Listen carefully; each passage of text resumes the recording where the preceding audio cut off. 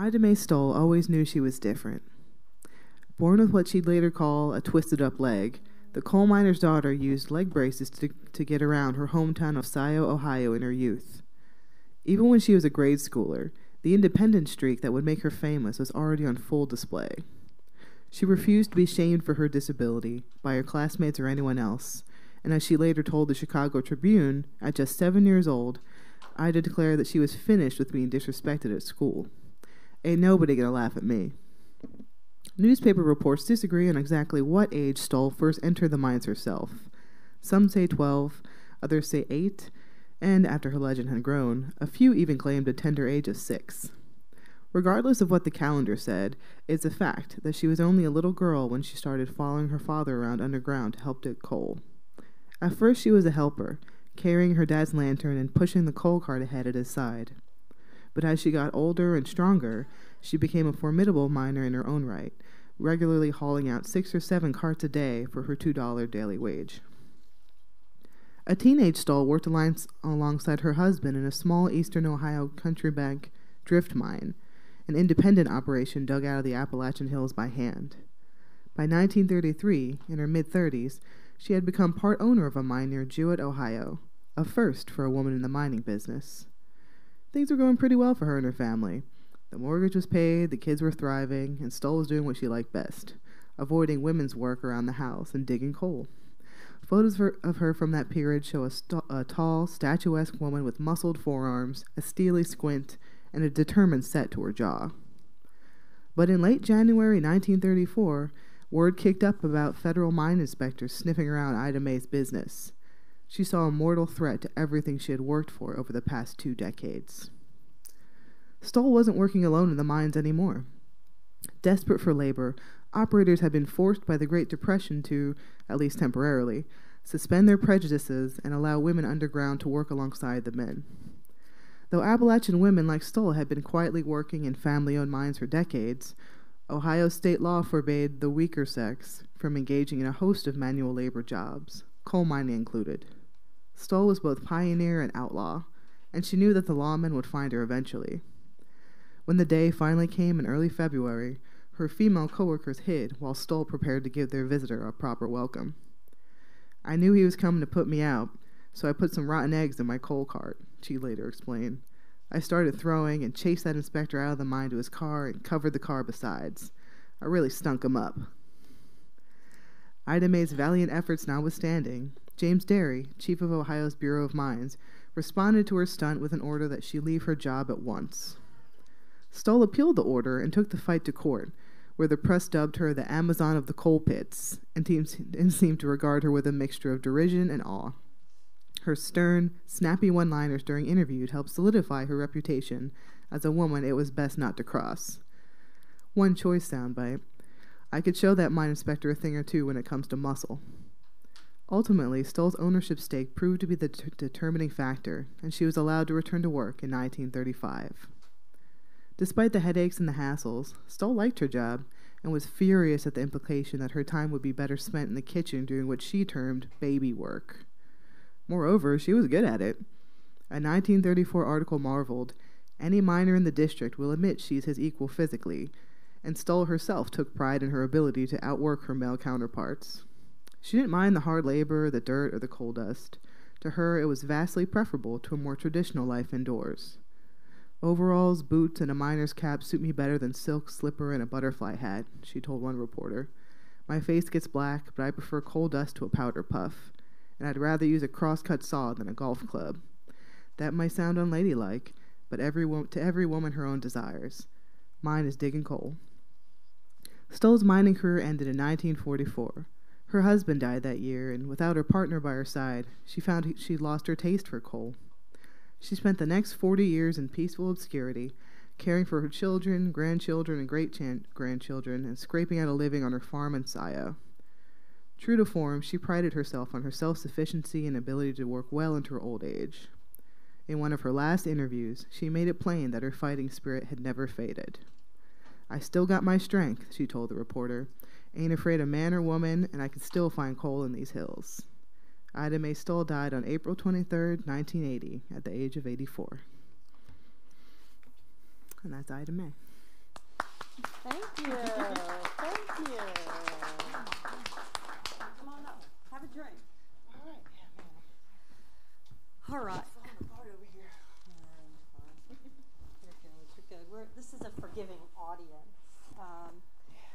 So yeah, we're just going to do a little chat. If that's, if that's all right. All right. Um, so I, I was wondering if you could tell our students where the title from the book came from. It's called Fight Like Hell. Um, Yeah, that's a. I mean, I'm sure you all know Mother Jones, right?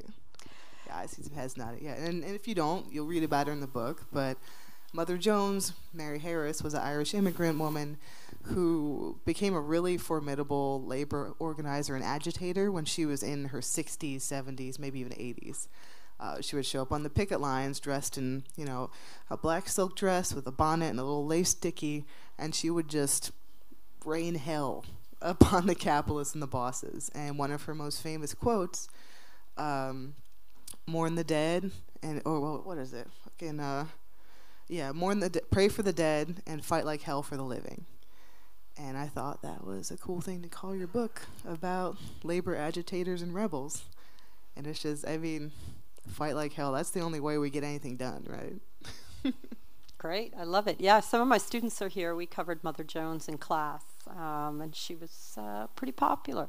Um, Mother Jones actually in 1903 brought an army, in quotes, of child laborers from Philadelphia to New York, to Oyster Bay, to President Roosevelt's house, and he would not see them.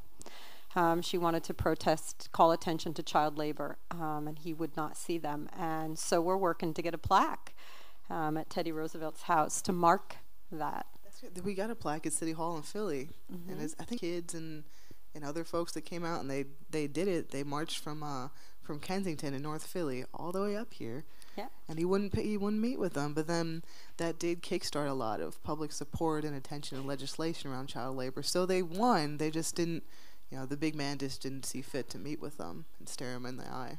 Yeah, yeah.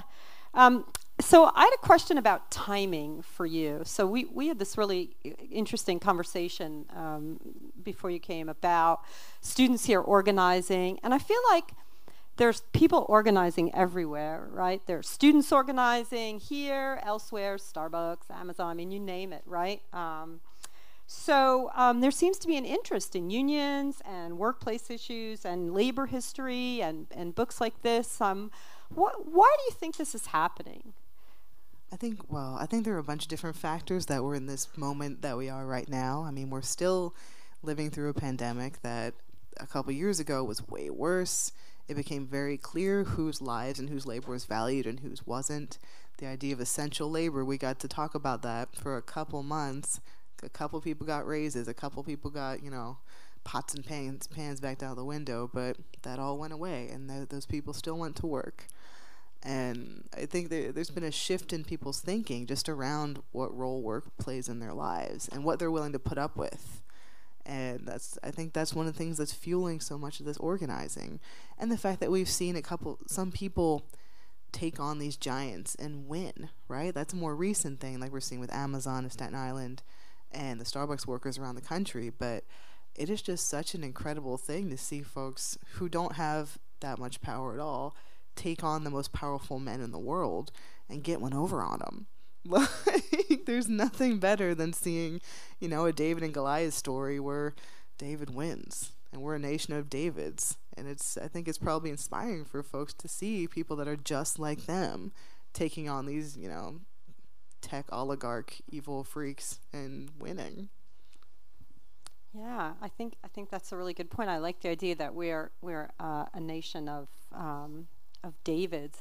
There was just an article in the New York Times, I think it was today, about how many of the organ of the organizers at uh, Starbucks are college graduates, right? So even people um, who graduate college and are expecting something from their jobs are finding out that what they're getting is not what they expected.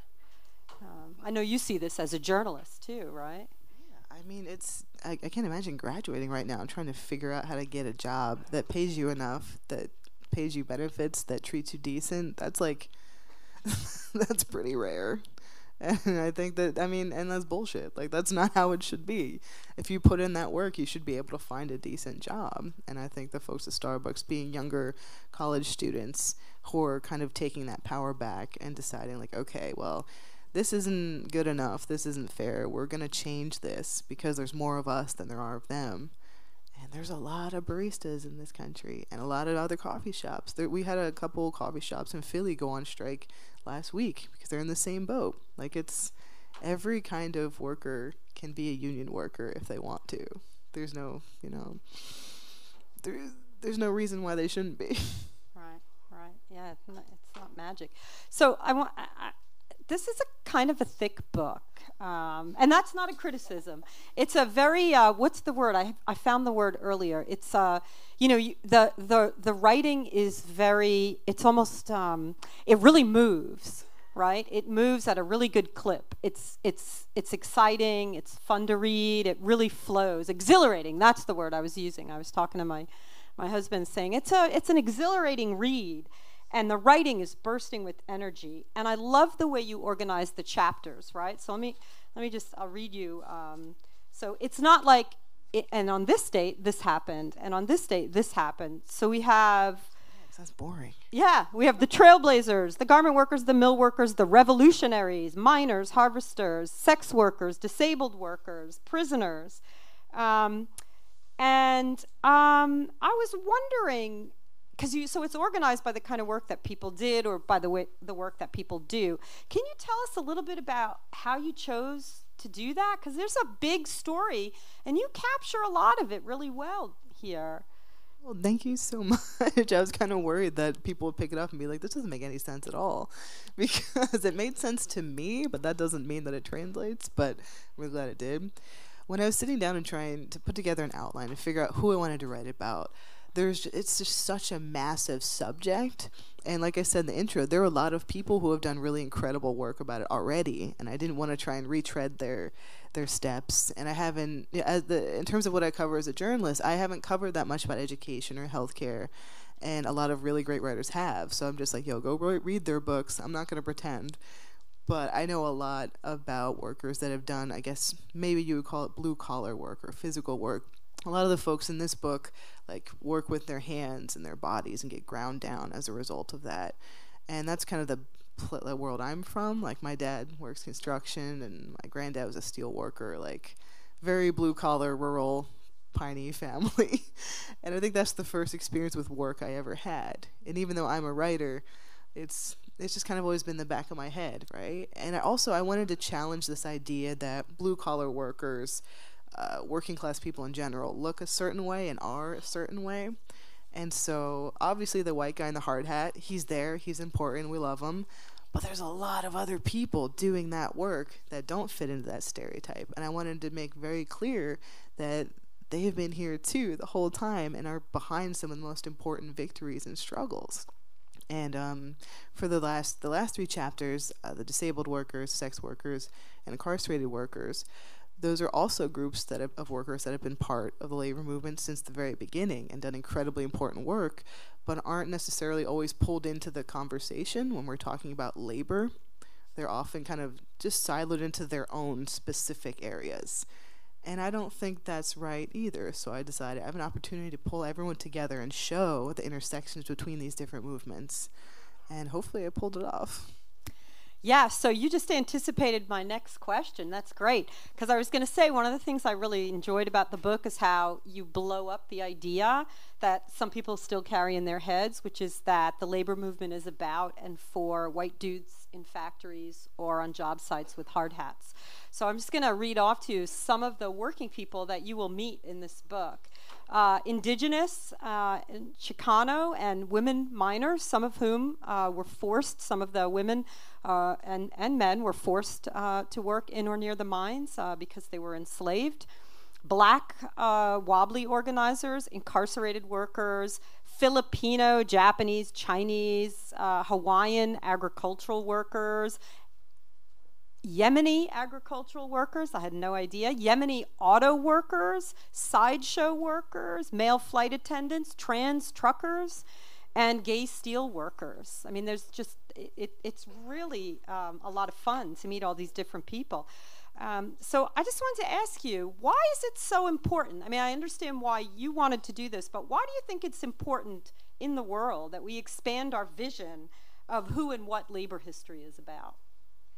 Well, if we don't know who all is involved, how can we fight for everyone? You know, and also something that's really important with this that I want to do in this book is show people that are interested in organizing now that not only is there a place for you, like you've been here the whole time.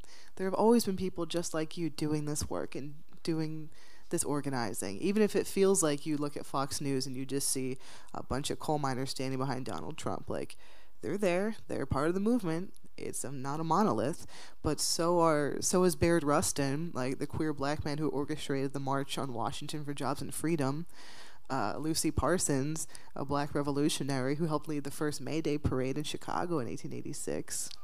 Like, Marsha P. Johnson is a labor icon. She was a sex worker who used mutual aid and built up resources and helped other queer and trans sex workers while she was also doing her work in you know the queer and trans liberation space. Like, every kind of person has been involved in the labor movement, and I wanted to make it clear like it has never just been one type of person, one type of job, one type of union. Like it's this whole kaleidoscopic effort and everyone's contributions matter and everyone's contributions are the reason why we're here now. Like the the white guys in the hard hat, they're important. They raised me, God bless them, but they didn't do nearly as much as everyone else.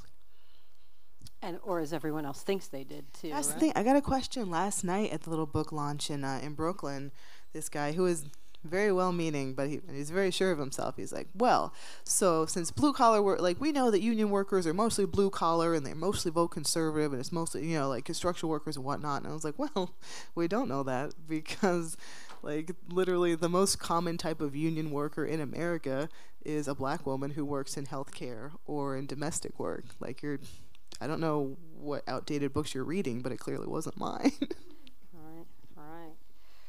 Yeah, well, so the story of of uh, working people in the U.S., U.S. labor history, is really rich with drama. I mean, there are amazing heroes, there are awful villains, there are extraordinary triumphs, there are heartbreaking tragedies and defeats. There's solidarity, rivalry, terrible violence. Do you have a favorite character? There anybody who you thought this? I mean, I know I do, but I, I'll, I'll tell you mine if you tell me yours. Is there somebody who you say, I love this person? And I would. I mean, they're they're all my favorites. They're all my children, right? But Lucy Parsons is always my favorite to dig into and to mention. She was such a fascinating and complex person. And in writing this book, I actually was really lucky to have time to dig in a little bit deeper into her story because I thought I knew what her deal was, and it turns out I was not really right. Um, uh, a scholar named Jacqueline Jones wrote a really great book called uh, Goddess of Anarchy that was a really well researched, in depth biography of Lucy Parsons, and it, it kind of contradicted a lot of what we thought we knew and a lot of what Lucy Parsons wanted us to think. Because she was a woman, she's a black woman who was born on a plantation and she was born enslaved and then after emancipation moved to texas with her family and, and from there moved to chicago and that's when her story kind of really kicked into gear and she was involved in labor organizing she was an anarchist speaker and orator she was more dangerous than a thousand rioters as the chicago police said but she also pretended the the vision of herself she presented to the world was different from who she was. She didn't acknowledge the fact that she was black. She said that she was a Spanish indigenous maiden because I guess she was a little ethnically ambiguous, you might say, and she just decided that she didn't want to present herself that way. And she didn't really focus on the struggles of black workers or workers of color. She focused on white factory workers. She was more in like that class reductionist kind of Marxist position where she was interested in that, not so much these more complex issues. So she was like she was a there's a lot going on. And i tried to condense it into this book and would encourage you to look more deeper into her because she's fascinating. And it just kind of shows that you can be this this incredible revolutionary this militant organizer and still have some skeletons in your closet and still let some people down. Like it just shows that labor leaders and like these these big sweeping bombastic heroes like they're still people and people are complicated. And there, there's a couple things about her biography that broke my heart but I still kind of have to love her. You know, it's we're complicated beings. And I was glad I got to show a little bit of the human side to someone I'd always thought of as just like this, like charging martyr for the cause. Yeah, I think that's a really good point. We we expect our heroes to be perfect, and they're people. Um, there you go. Yeah, yeah. So, was there anything that you were, you know, when you were doing the research and you thought, and you just were either struck really positively by something that happened, or something where you thought, "Oh man, this is awful." I can I can tell you I'll tell you both. I'll tell you about the one that broke my heart because you mentioned him sort of earlier on uh, this Yemeni immigrant named Nagi Daifullah. I'm probably butchering the, the name, but I'm trying. Nagi Daifullah, he was 24 years old. He moved here and be- he became involved with the United Farm Workers.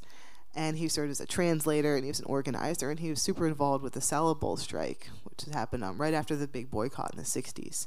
And one day, he and some of the striking workers were like hanging out around a convenience store. Perfectly legal thing to do. And the cops came up, started hassling him, and he stood up for them, told them to leave them alone, and they responded by bashing in his skull and dragging him across the concrete and leaving him for dead. And that broke my heart. And it um there's a lot more about it in the book, but just hearing stories like that of like someone who literally gave everything but didn't have a choice, but still like the last thing he did was stand up for vulnerable workers and I feel like we more people need to know about him because there are a lot of people like that that don't have you know the there's no Nagi Daifullah Day in California, but there should be.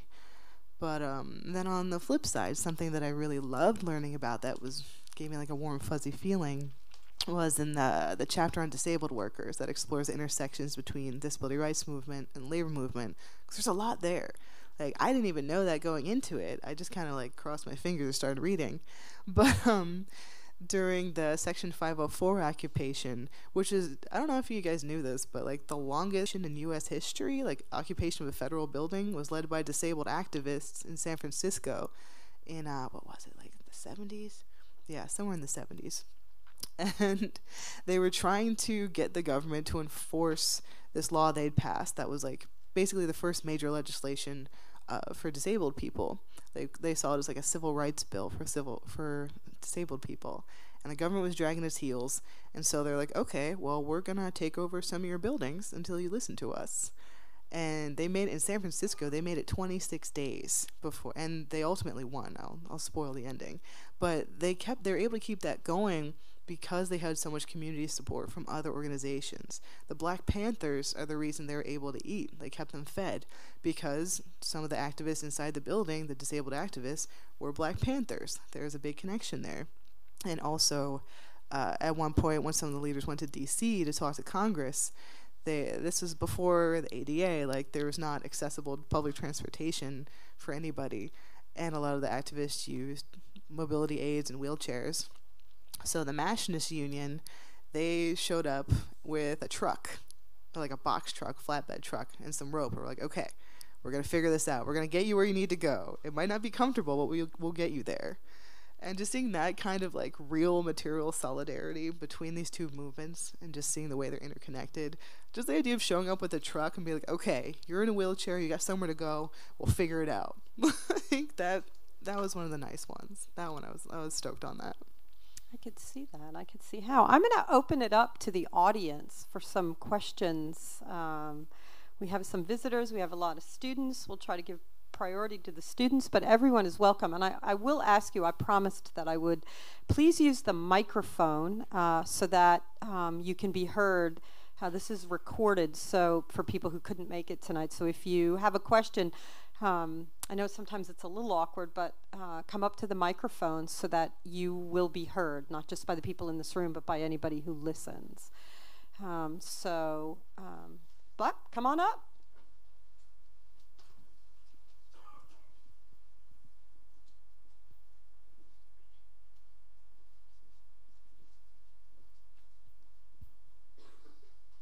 Someone's always got to be the first one. Uh, Break yeah, the ice. it usually takes a little while, but bravo. Um, hi, I'm Ben. I'm a first year political science student at Hofstra, obviously. Um, I was curious, in your opinion, um, in a perfect world, how would uh, businesses function? Like, what would the uh, social hierarchy, in your opinion, uh, be to suffice for uh, a perfect, um, perfectly run business? Well, if I was in charge, well, if I was in charge, nobody would be in charge because I'm not really a big fan of hierarchy. But I mean, the workers should own the business. It should be worker owned. Like it, the, you know, uh, there's a phrase uh, that I'm forgetting that's uh, much more pithy than what I'm gonna say. But yeah, like, I mean, the people that create the profit should be in charge of it and sh- the people that are doing the work should be able to direct how that works. I don't think anybody should be in charge of anybody. I think that's kind of the reason we're in the situation we're in, right? Like capitalism is a no-go. We need to get rid of that. We need to go get to direct worker control. And I don't know if we'll achieve that in my lifetime, but you love to see it when there are cooperatives and volunteer-led efforts out there. Like we, money isn't everything. Uh, thank you. Come on up. We just had a, an, an event uh, earlier this week on worker owned cooperatives. Um, yeah, yeah. Come on up. Hi, my name's Elias. Um, Speak into the microphone. okay. Hi, my name's Elias. Oh, God. Um, my question is, what was your most fulfilling part of the research that like you did in the in the book? Like, what was your like favorite like part of researching? The chapter that took me the longest is also my favorite, the the prisoners chapter, because I knew I knew a decent amount about like modern prisoner organizing situations because of the industrial workers of the world and everything that's kind of happened post 2014, but I had no idea that there was such a huge amount of um, like prisoners unions and labor organizing happening in the 70s. It kind of dovetailed with like the Black Power movement, the Chicano Power movement with um, the prisoners' rights movement. There's all these different things happening, and there were prisoners in different facilities who were able to organize like straight up labor unions that were like affiliated with with unions outside. Like it was, it, there was a lot going on there, and the reason that that stopped is because the Supreme Court rolled out this decision in 1977, Jones versus the North Carolina Prisoners Labor Union, that essentially like set in stone. They denied the right for incarcerated workers to join a union. They said like, we yeah, we hear you like First Amendment whatever, but you're we're not going to give it to you. We're going to make it harder for you to organize because we we have biases against you. We think you're too dangerous. We think you don't deserve it. So there was a moment in time where there was like a full-fledged labor organizing movement within prisons in the U.S. and the government came in and was like, "Oh no, we can't be doing that." And that was really interesting because there's this kind of big gap in my re- when I first started reading about it. There was like the 70s, a lot going on, and then 2014 onwards, a lot going on. Like what was happening in the middle? Oh, a lot of repression is what was happening. So yeah, that was fun. Fun as a, as a maybe not the right word. Very interesting to read about that and learn more. Thank you. Good questions. Anyone else? Another question? Yeah.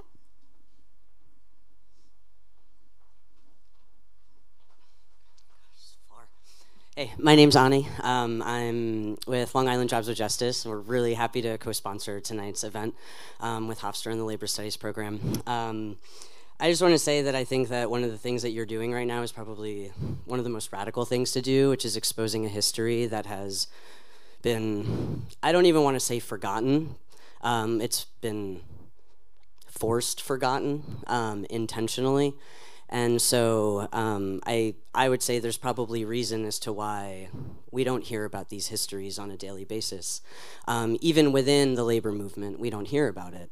Um, and so I would say that even the labor movement as a whole could really benefit from access to the information that you have in this book.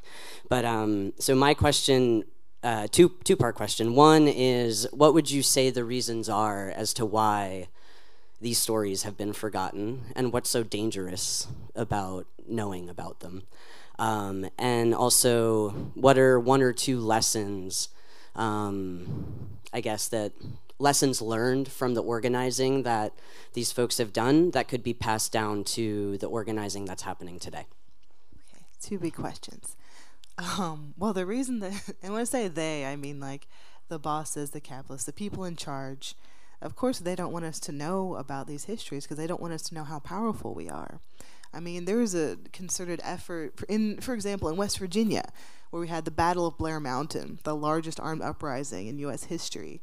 There was a concerted effort among um, like coal-connected businessmen and people who were involved in education to keep that out of the schools so the kids wouldn't know anything about that. They wouldn't know about the mine wars. They wouldn't know about this militant radical history that had happened right there on the ground they were growing up on because that made it more complicated for the coal bosses. It made it more complicated politically.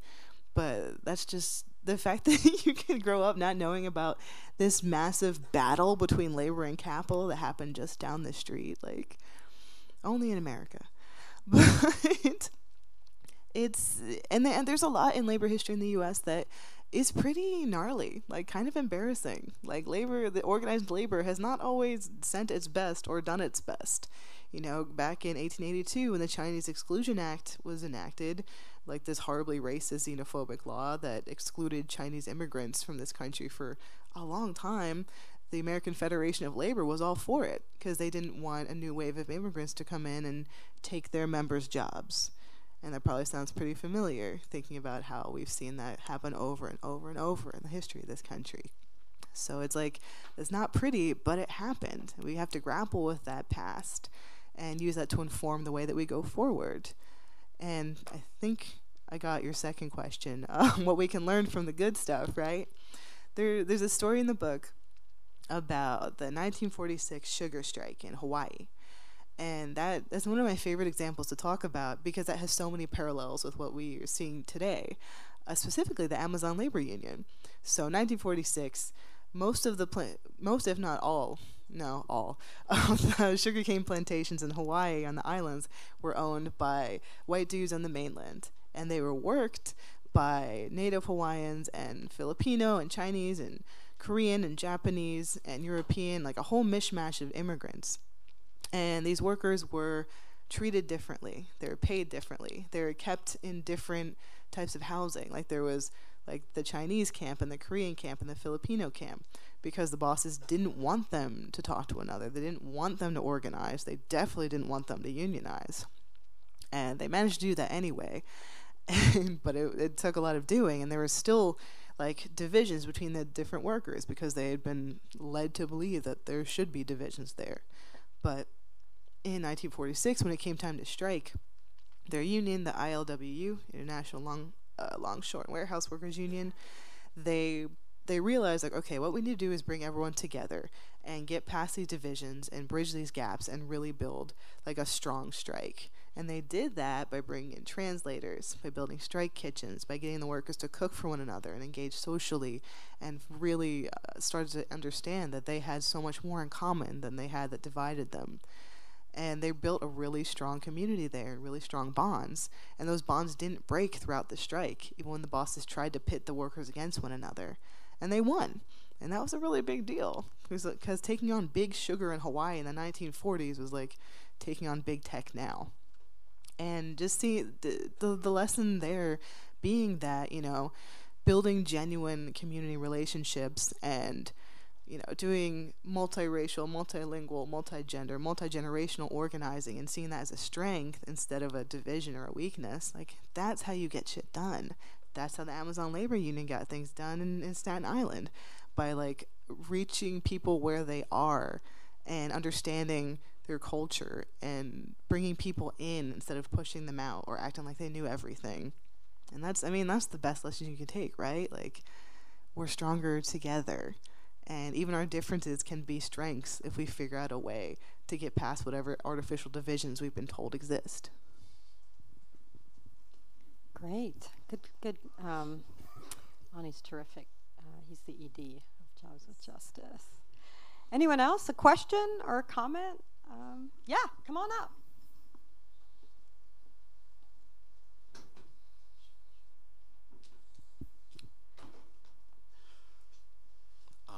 Hi, the name is Don Vanellis. Um, recently, I've gotten into um, doing writing commissions. Hit me up if you like. But um, in all seriousness, I guess how would you be able to take that fight like hell mentality to more freelance work as well? Because I've been burned in the past, and I don't want to get burned again. Oh, dude, I'm a freelancer, so I hear you. like I've been freelance for uh, a long time, and it's yeah, it is hard, and people don't necessarily understand how difficult it is to be in that type of work, to be independent contractor, to be subject to pitching and you know temperamental editors and all the things you have to put up with. Um, but there are people are trying to organize something there. I don't know if you've heard about um, the IWW has a free the freelance journalist union. That's something you can become involved in. And there's also a project under the National Writers Union called the Freelance Solidarity Project. And there, are, yeah, there are a lot of really great writers who are in exactly the same position we are, that realize like, okay, this isn't sustainable. This industry pits us against one another. It's way too cutthroat. There's not enough outlets. There's not enough jobs. And not enough editors that answer the emails. We have to organize, and because like as a freelancer, we're not, we can't join a union. Yeah, you know, join a union thanks to NLRA. Shout out to 1935. But there are ways that we can work together and support one another. Also, study hall, which is kind of this um, like worker community, like that's been really helpful too. There's a lot. There's a good community there. A lot of like resource sharing I would recommend you check them out too, because that's where I mean that helps me out a lot, and I've been doing this for a minute. Okay, thank you. This is very helpful. Did you have a question? Yeah, come on up.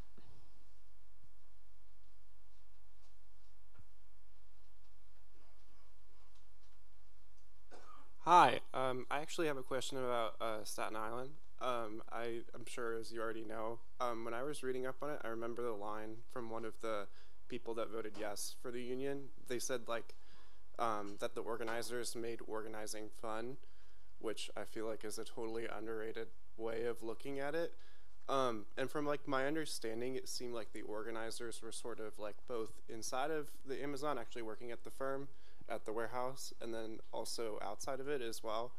Um, like, what do you think about like organizers that are maybe not necessarily internal trying to organize? And do you think like that's a possibility? Like, people could be organizers necessarily without, you know, really being like in, in like a staple union trade. So like salting. Yeah, kind of. I mean, very Does, do you all do all the, the students know what salting is? Is anybody who doesn't know what salting is? Do you want to explain? Sure. Yeah. Just yeah. It's um. It's pretty sick. It's a it's a tactic where it, um someone who is interested in unionizing a certain place will get a job there and start talking to their coworkers and kind of getting the idea going. Like, hey, maybe we should unionize. Like, if- like you saw Sorry to Bother You. Um, that one dude, he what? It's a good movie, but that one dude was assault. Someone who gets a job there with the express aim of organizing people, and I think that's a great. I mean, if you can do it, do it. And it doesn't have to just be like a construction job site. Like you can get a job at Starbucks and start talking to people. There's already momentum going. You can get a job at Amazon and talk to people. That's a perfectly valid way to organize. And honestly, like it's pretty smart because that's one of the things, like you said, one of the reasons that they were able to win in Staten Island because the workers were just talking to one another. They weren't seeing, you know, Chris Smalls, Derek Palmer, Angelica as like outside organizers or anything or like union people. It was just, you know, Chris and Derek. Like it was just their coworkers. And so of course it was easier to build trust and build relationships there. I mean, I spent a really long time covering the first Amazon union effort in Alabama in Bessemer. And one of the many, many, many union busting tricks that Amazon used was um, doing something called third partying, where they basically acted and told workers that, that you know, oh, this union is coming down from New York. Like, they don't know anything about you. They just want to take your money so they can buy cars and, you know, make things worse for you. You shouldn't trust them. And obviously, also, that's bullshit. But that is for someone who's hearing that and doesn't know that much about unions, wants to keep, hold on to a steady job. Like, that is a, a fear tactic that can be useful. And that in that case, like, it did have an impact. They couldn't do that at Amazon in Staten Island because, again, that's when it's just a couple coworkers talking to each other, it doesn't feel as scary or maybe as dangerous or risky as talk as like sitting down with a union organizer and like strategizing. I mean, making things fun, making people feel safe and protected and heard, like that's how you organize. Like there's a lot of different. I'm not. I'm. I don't. I'm not gonna pretend to be a professional organizer or anything, right? But that is one thing I've learned just through talking to a lot of people who are and a lot of people who have been organized. Like listening and being empathetic and letting people tell you what they need and then following their lead. That's how you get things done. Great. Does anyone else have a question before we um, before we head over to the signing? Yep.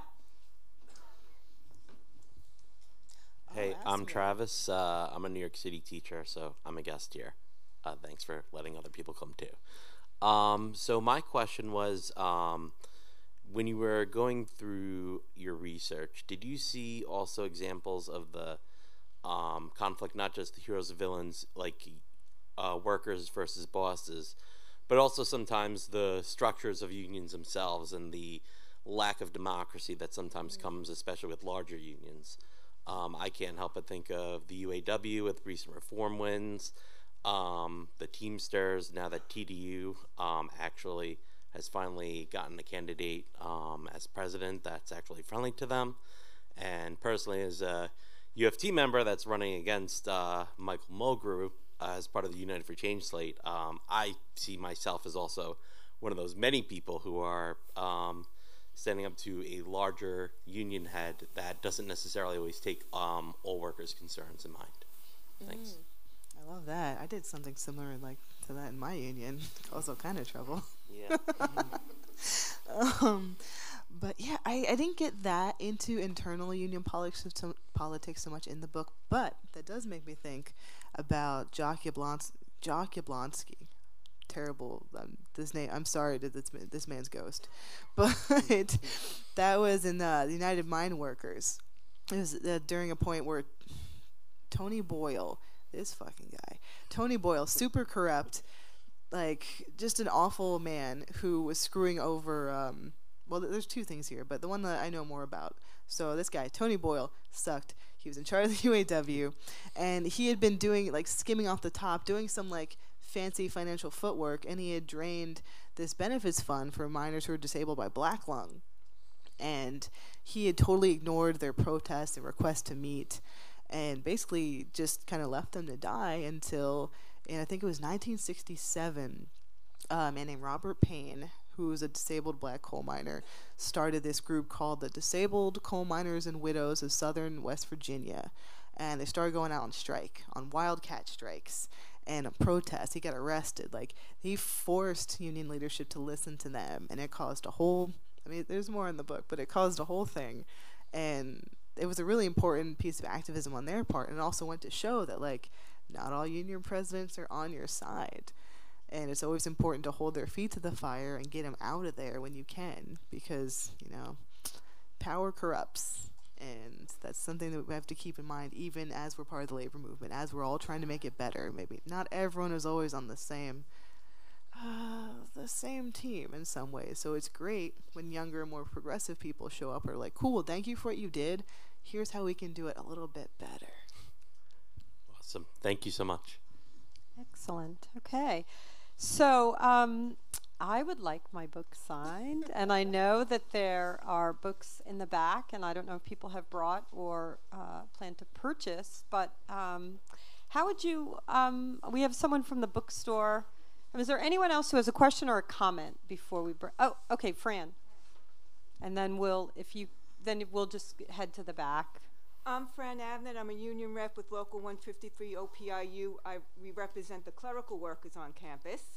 And one of the uh, my, one of the observations that I have is whether you're talking about past labor history or even more current history with the pandemic, is the absence of the clerical workers' voice. So why do you think that is? Interesting. Well, I suppose maybe not as many people know about what y'all are up to. I guess it's the kind of labor that since you're tucked away in an office, right? It's not as in your face. It's not someone who's working in the street or working in the kitchen. People don't know how hard you work to keep things going. Like folks in the administrative field, like you're the reason anything gets done. But since it's kind of tucked away, maybe it's harder for people to understand how much work you're putting in. Yeah, and it's interesting when you talk about invisible. Just before the talk, Professor Transiski, excuse me if I pronounce your name wrong. Everybody asked, does you know, do you know anyone who is in a labor union? And I guess there's different varieties of knowing, but everybody here who attends Hofstra should have raised their hand and said yes, because every department secretary, every but practically every clerical worker in a missions office, financial aid, is a member of my union. Your teachers, your professors are a member of your union, right? The janitorial staff, or this is a highly unionized place. I think the only people who are not unionized are the high, the um, the so-called admins, the directors, and your deans. So yeah, I don't know why people here don't realize, as consumers, that you you do learn in a unionized workplace. And I'm so glad you brought that up because now at least a couple dozen people know that. And hopefully they'll, you know, people will think about that more because I think there's this idea of what a union worker is and the, the idea of what a union worker looks like.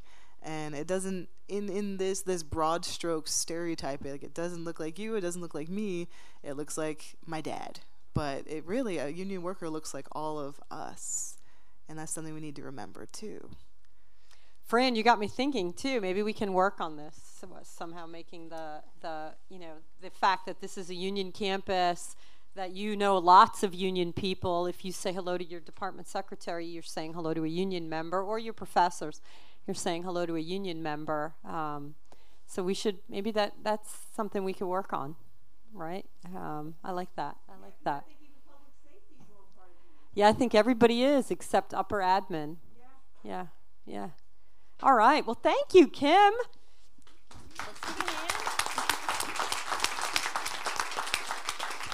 And we have some books for sale in the back. If you have a book and you brought it, I'm sure uh, that Kim would be happy to sign it. Um, and uh, yeah, thank you very much.